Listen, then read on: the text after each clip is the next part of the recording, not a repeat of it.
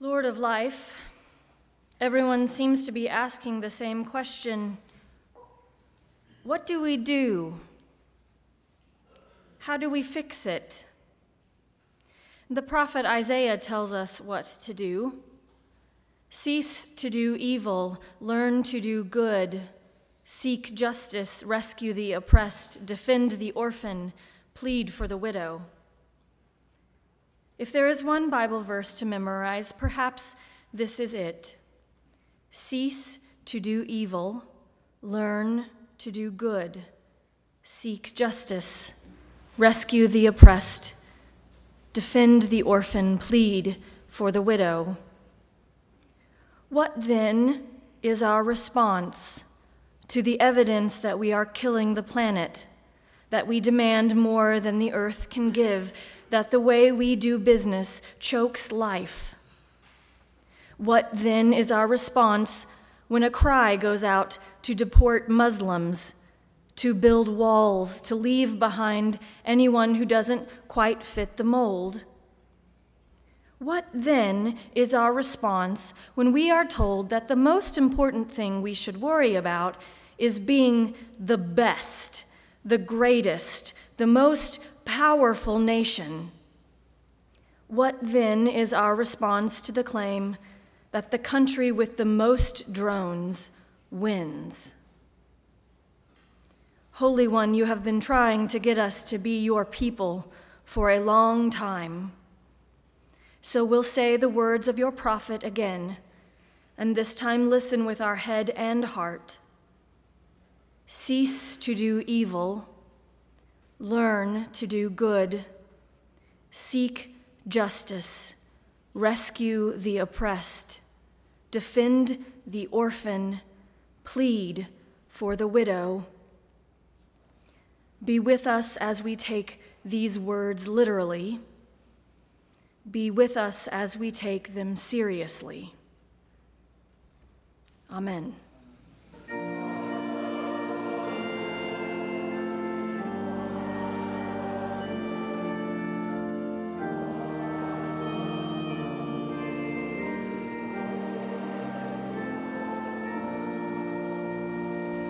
Our scripture lesson this morning comes from the letter to the Hebrews, chapter 11, verses 1 through 3. Now, faith, faith is the assurance of things hoped for, the conviction of things not seen. Indeed, by faith our ancestors received approval. By faith we understand that the worlds were prepared by the word of God, so that what is seen was made from things that are not visible. Here ends the reading of words inspired by God. May God grant to us wisdom and courage for interpretation. This fall, when the Kansas Oklahoma Conference of the UCC meets up in Wichita for its annual meeting, I'm going to present two lectures on what it means to be political in the pulpit. That is, without violating the separation of church and state and without getting fired. My old friend Edith Guffey, who is our conference minister, uh, and who asked me to speak on this topic thinks, for some strange reason, that I'm uniquely qualified to speak on the topic. she said, quote, we thought about importing someone from the national office, but then we thought, hey, wait a minute. Robin's been in the pulpit of a church in Oklahoma for 30 years, and he's been known to be, how shall we put it, political. so, how does that work? Can you help our pastors who struggle with this issue? and struggle they do. I think I mentioned to you that not long ago I met a woman who'd just been ordained and accepted a call to her first church in New England, and the church council met, and they informed her that as a condition of her employment, she was never, ever to say anything in the pulpit that anyone in the church might consider political. I wondered, quite frankly, how she was supposed to preach at all, given that according to the broad definition of politics, which I understand as who has the power, how is it exercised, and to what effect, everything Jesus of Nazareth did and said was political. Of course, we already have laws that make it illegal for any religious organization to endorse a candidate or to work directly as a part of his or her campaign without threatening their tax exempt status. A law that was passed, by the way, in 1954 by then Senator Lyndon Baines Johnson, and that Donald Trump recently told evangelical Christians he would try to overturn. But there is nothing that stops any clergy person from talking about moral issues in the pulpit. Things like immigration reform, guns, military intervention, abortion, same sex marriage, health care. We're also free to discuss what we believe makes for good character in a candidate, what constitutes qualifications to hold office, and whether the person who professes to be a person of faith has ever actually demonstrated any of the virtues of faith. If we cannot do so, then what becomes of the relevance of the pulpit? That is the number one complaint against preaching, by the way, especially by the young. And I'm old enough now, I get to say the young, that it is um, irrelevant. Irrelevant. But a pulpit that is truly free is a pulpit that interprets the gospel in light of what's actually going on in the world. We might not always like the interpretation or, or even agree with it, but the alternative is for us all to yawn our way through every sermon. It was not surprising to me to learn that the Trump family belonged to the Marble Collegiate Church in New York City, where Donald claims to have been mesmerized by the preaching of Norman Vincent Peale. Of course, Peale asked nothing of his listeners but to practice the power of positive thinking in service to success and wealth. His Bible was how to win friends and influence people. What is more deeply at the heart of this question, however, of whether a pastor can be political in the pulpit, is that the failure to do so constitutes a betrayal of the gospel message, as if there is no real gospel message because it can never be brought to bear in any specific way on the world in which we actually live. By our silence, we infer that the gospel itself is never offended by the world in which we live, which is exactly the same thing as saying that the gospel is not a living thing. It said things, but it never says things. It is all past tense, a museum piece, not a conversation partner. Trump wanted to persuade an evangelical crowd that he was a good Christian, so he told the story of having received a copy of the Bible from his grandmother. With her name, he said, written in it. Her name was written right in it, he said. Then, when asked a follow up question, would he name his favorite Bible verse? He hesitated and said, uh, I, I don't want to get too specific.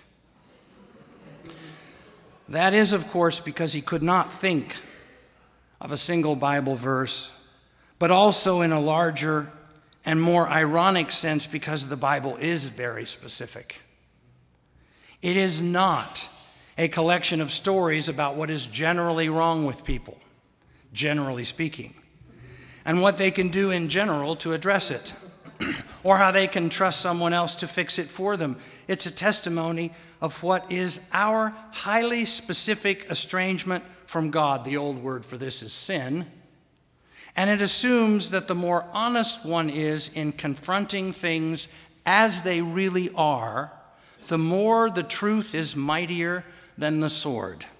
Here's how Israel's greatest prophet Isaiah put it so shall my word be that goes out from my mouth. It shall not return to me empty, but it shall accomplish that which I propose and succeed in the thing for which I sent it.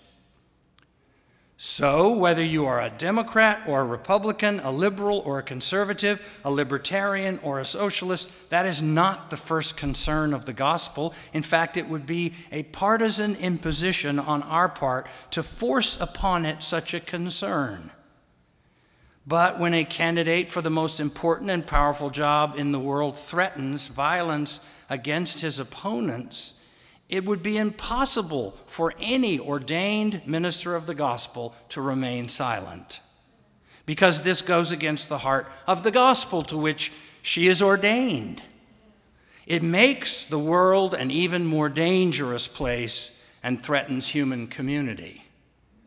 When a candidate targets people of one religion for persecution and deportation, a siren ought to go off deep in the heart of the church because we do know lots of scriptures by heart, including repeated commandments to love the stranger and treat her well because we were strangers in the land once. I did a little research and I, I compiled a list of biblical references in both the Old and New Testament of how we're supposed to treat the resident alien and the stranger in our midst. I came up with so many that there is not time for me to share all of them with you. They're all in the sermon, so you can get a copy and look at them. But too many to put in. Just a, here's a couple. Exodus 22 21. You shall not wrong or oppress a resident alien, for you were aliens in the land of Egypt. Leviticus 1933 When an alien resides with you in your land, you shall not oppress the alien. Leviticus 23:22 When you reap the harvest of your land, you shall not reap to the very edges of your field or gather the gleanings of your harvest. You shall leave them for the poor and for the alien. I am the Lord your God. Leviticus 24 You shall have one law for the alien and for the citizen, for I am the Lord your God. Deuteronomy 1:16 I charged your judges at that time give the members of your community a fair hearing and judge rightly between one person and another whether citizen or resident alien. Deuteronomy 24:20 When you beat your olive trees do not strip what is left it shall be for the alien the orphan the widow. I've got to skip over some of these. Okay, let's see. Uh, Deuteronomy 27 Cursed be anyone who deprives the alien, the orphan, and the widow of justice. And all the people shall say, Amen. But I like this one um, from Malachi. Don't hear a lot from Malachi. But I think this was actually the one that Donald should have said he memorized. Then I will draw near to you for judgment. I will be swift to bear witness against the sorcerers, against the adulterers, against those who swear falsely, against those who oppress the hired workers in their wages, the widow and the orphan, against those who thrust aside the alien and do not fear me, says the Lord of hosts. And then finally, just this one we are all aliens. We are all aliens. Then there's a whole bunch from the New Testament. Um, Romans 12, 13, contribute to the needs of the saints, extend hospitality to strangers. You know, you may be entertaining angels unaware. And 1 Peter, be hospitable to one another without complaining. That's not half the list, but I press on. And every one of these is in the Bible that his grandmother gave him. so when insults demean people, whether they are his rivals or simply those who will not be intimidated by him, or if they are disabled persons, or the gold star parents of a son killed while serving the country he wishes to lead. It is not the Democrat or the Republican in us that rises up to condemn it, it is our common humanity. When someone who might hold the nuclear codes says to generals in a cavalier tone of voice that, hey, if we have nuclear weapons, why can't we use them? It is not our party affiliation that is terrified, but rather our hope for the future, for our children and our grandchildren. It is, in short, hope itself that is threatened by the depth of the hatred into which so many voters have descended, in particular by an ever shrinking pool of uneducated white males, whose fragile sense of self sees no future unless it is a future in which they remain in charge. They long for a mythical time when America was great because they assume it means a time when America was great for them. But here is what our scriptures say faith is the assurance of things hoped for, the conviction of things not seen. Hope is what keeps us going. Hope is the one thing for which there's no acceptable alternative. And because hope's rival is fear, and fear's the enemy of the moral life, hope is the best hope we have to overcome the fear that drives the darkest moments in human history. Notice that the text does not say that faith is a list of things you believe. It is instead an orientation toward the future Abraham's the primary example here, of course, because he left the safety and security of his comfortable life to find a place God had in mind for him. So faith is not about believing something that doesn't make sense because we take it on faith, but rather faith is a refusal to believe that what's broken in the present cannot be made whole one day. It's all right there in your grandmother's Bible the one she may have signed to you that is so very special to you. But we have to read it. We have to open it first. It makes it easier to read. And then we have to study it. We can't just wave our hands over our heads and say, Trust me, I'll fix all these problems not like Abraham by setting out with no guarantees to find a city whose builder and maker is God. Rather, I will give you back a mythical place where white people ruled. And women knew their place, as did blacks, gays, foreigners, and all the rest of those others, which God must have intended to be your servant and your subject. Maybe, I'm thinking maybe the Olympics even with all their problems. And certainly there are a lot of problems. Maybe they have come along at just the right time. Because I, for one, was getting tired of watching political coverage, and it is nice to watch athletes, these unbelievably beautiful young athletes from all over the world just trying to make their dreams come true. This is blessed relief. Did you know there is a refugee Olympic team? They have no home, no flag, no national anthem. But they're in Rio competing after fleeing the horrors of war. One of them's a swimmer, 18 year old Syrian refugee Yusra Mardini. Pope Francis wrote her a letter wishing her well, and right after it was published, she promptly hopped in the pool and won her heat in the women's 100 meter butterfly. A Syrian refugee. And as you may know, there's a backstory for Yusra. When the boat on which she and her fellow refugees was sinking just off the coast of Greece, she jumped into the water and with her swimming skills helped push it and all its occupants to the shore. Here's what she said I thought it would be a real shame if I drowned in the sea because I am a swimmer. to which I might add, and a human being. Dear Donald, what do you think we should do with people like Yusra.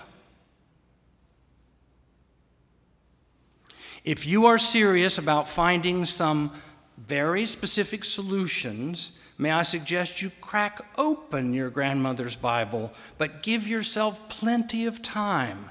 It is a strange library with lots of warnings, but they all add up to the same message We are all aliens. Even you, Donald, you are an alien. So, as far as politics in the pulpit goes, try this one for size. Either all of us matter or none of us do. Amen.